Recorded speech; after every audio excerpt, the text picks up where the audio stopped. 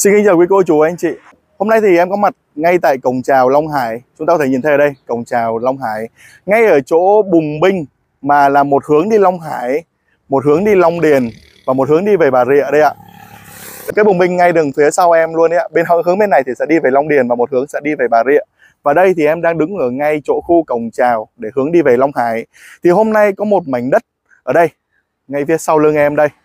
Một mảnh đất ngay gần cổng chào Long Hải mà chủ nhà đang có nhu cầu bán cái mảnh đất này. Mảnh đất này thì có chiều ngang là 10m và chiều sâu là 33m. Hiện tại thì ở kế bên thì họ đã xin lên thổ cư được. Mảnh này thì đang là đất nông nghiệp nhưng mà có thể xin lên thổ cư. Đối diện là cây xăng dầu khí của chúng ta là ở đây. Và khu vực mà Bùng Binh, Long Điền, Long Hải, Bà Rịa này thì sau này theo quy hoạch á, sẽ là ngay chỗ mà khu mà gần với cái chân cao tốc Biên Hòa Vũng Tàu đi về.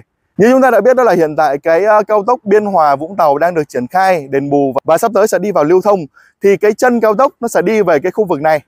Đi về cái vùng Bình Long Điền, Long Hải này bởi vì là nó là nút giao chúng ta vừa có thể đi về Long Hải, chúng ta vừa có thể đi về Long Điền và có thể đi về trung tâm hành chính của thành phố Bà Rịa.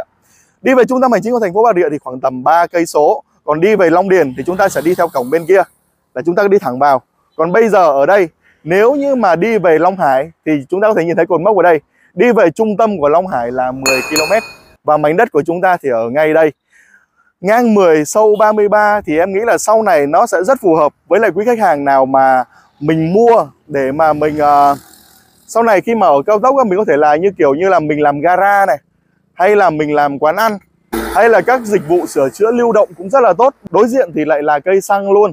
Một vị trí có thể nói là khá là thuận tiện cho việc như là, là làm những cái mà về cơ khí xe hơi như là làm gara sửa chữa vá vỏ hay là làm gì đó. Và đối diện là có cây xăng luôn rất là tiện. Và ở đây là hướng lưu thông và lại có cao tốc nữa. Thì sau này vị trí này sẽ là một vị trí rất là tiềm năng đấy ạ.